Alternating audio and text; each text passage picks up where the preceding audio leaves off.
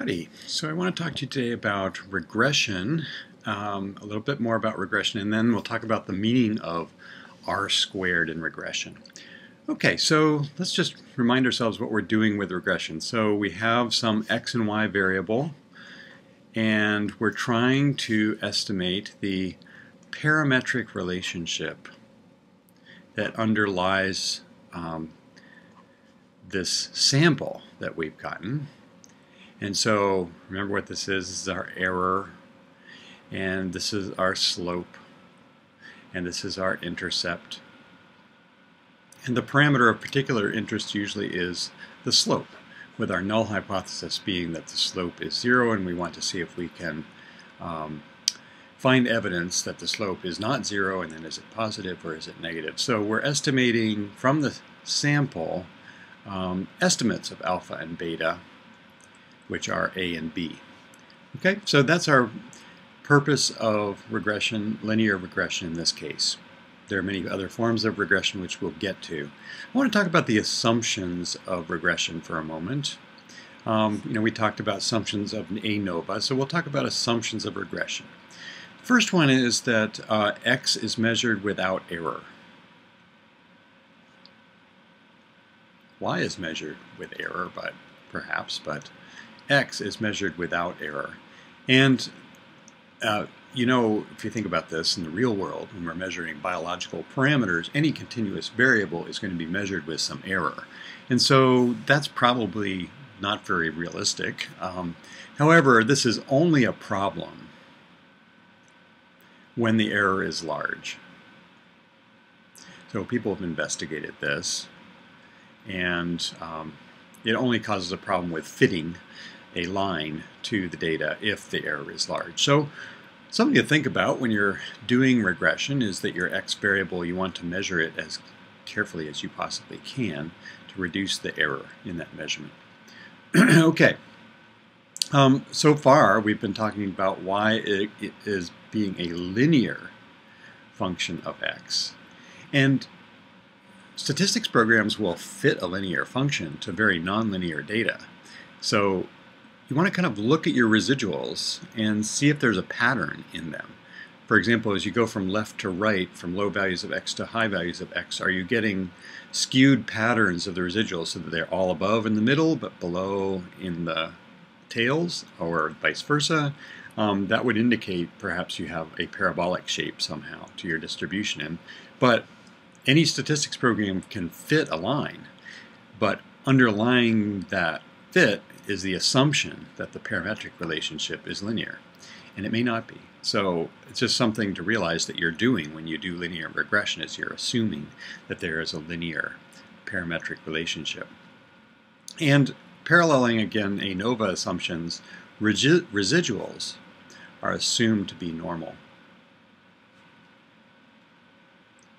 And that's, of course, something we can test in the same way we've tested it with our Shapiro-Wilk W test, for example, in SAS JMP. Um, it also is assumed that residuals are homoscedastic. Okay, and I mentioned that you know JMP and other statistics programs um, generally uh, treat regression using a general linear model in much the same way as they, they treat ANOVA. So it really is just fine um, to, to think about these residuals in the same way that we've thought about with ANOVA, and they the same assumptions are inherent in that. Okay, so we, we've talked about estimating the slope. I've had you manually estimate the slope. What about this r square? And actually, if you remember, if, when you've been doing ANOVAs, um, you'll actually see that SAS JMP, for example, gives the output uh, of an r square when you do an ANOVA. So we haven't talked about to this point because r squareds typically aren't reported in ANOVAs, although they can be. And um, with regression, though, we do report r squares quite often to tell about how well our line fits the data, how well variation in x explains y. And so I think you probably somewhere before this time gotten exposed to r square. But let's talk about the calculation of r square. And so I want to kind of illustrate by drawing uh, a fitted line. So we fitted a line to our data. And uh, I want to talk about a single point for the time being. Okay, so here's our observation.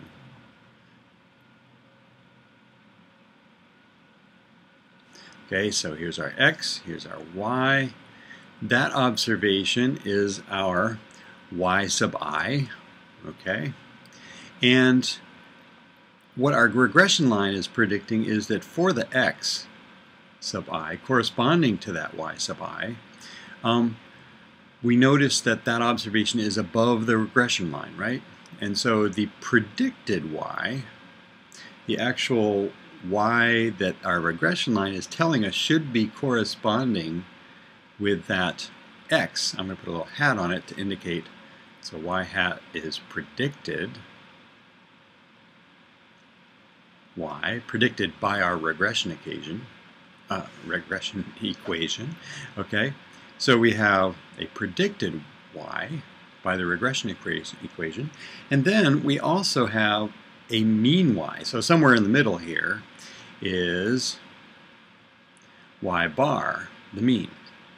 And you can see all of those are different, right? So uh, if we think about our total sums of squares, in this case, um, that's going to be equal to the y sub i minus y bar quantity squared, right?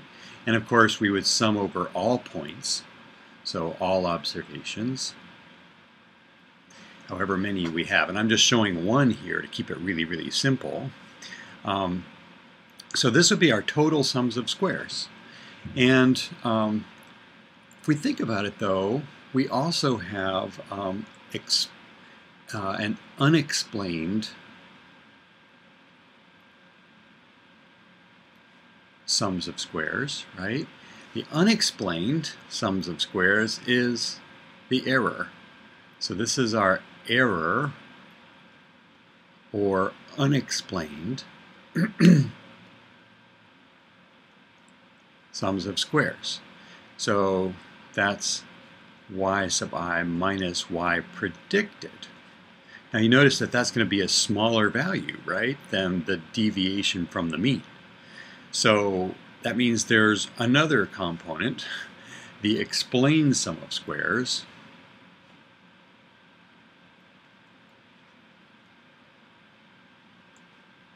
which is going to be the difference between those two, the total sums of squares minus the unexplained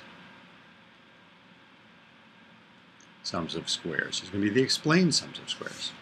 Okay? So what am I all leading up to? So we want r squared to encapsulate what proportion of the variation in y is explained by s. So r squared is going to be explained sums of squares divided by total sums of squares. And in fact, if you look at SAS JMP output, it's going to be the model sums of squares divided by the total sums of squares. And you can look at that. So that the JMP gives you a model sums of squares, which is the sum of all our x factors, s sums of squares, right? and that's the explained part. And then dividing by that plus the error, which is the residual sums of squares. So essentially, it's giving you that fraction. And so you can think of r squared as being the proportion of the variation in y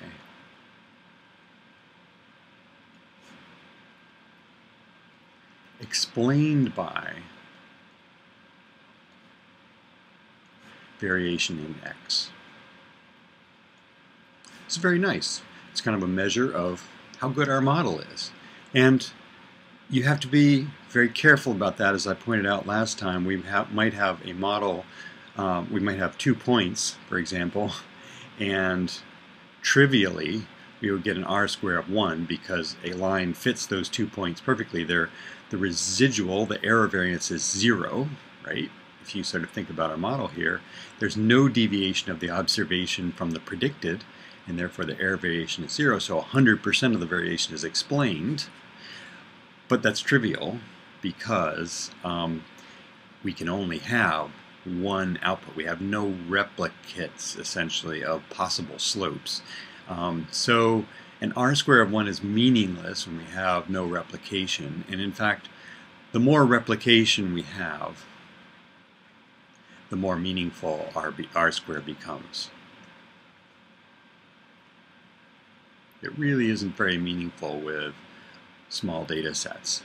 Uh, and in fact, we don't know that we've explained any variation in y as a function of x when we have a small sample size. And by chance, for example, you know, if we had three points and that looked like this, we would have an r square close to 1, and it wouldn't mean much either, because our next point we might get in our sample might be over here, or over here, over here, right? And we know that if we were to get a shotgun smattering of points so that x doesn't explain anything about y, slope is 0, excuse me, then we have r squared equals 0. There's no explanatory power uh, for our line. And our model um, is indicating that, you know, we knowledge of x explains nothing about variation in y, then um, then we have r square of 0. And, and so, anyway, that it sort of gives you an intuitive understanding that you have to put r square in context.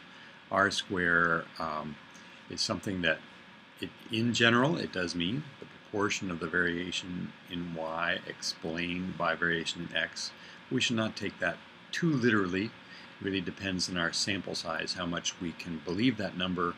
And actually, if our slope is not significantly different from zero, it really means that r square, whatever r square value we get, is not explaining anything, right? Because a slope of zero would mean we haven't explained any of the variation. So you have to put the r square in context of um, the sample size you have, the, the slope estimate you have, and so forth. So I, in regression, I pay more attention to the slope estimate and the significance of that and the sign of that, and secondarily pay attention to the r squared. But for example, if I'm comparing two models, and I want to know if one explains more variation than the other, I have I can look at r squared as a starting point for that. We're going to see later on when we cover something called Akaike's information criterion that we need a more sophisticated way of comparing models other than just looking at r squared, but it's a starting point. And, um, and so we'll talk about that more later on as we're talking about uh, how to choose between alternative um, regression models. Okey doke. Sorry about the sneeze.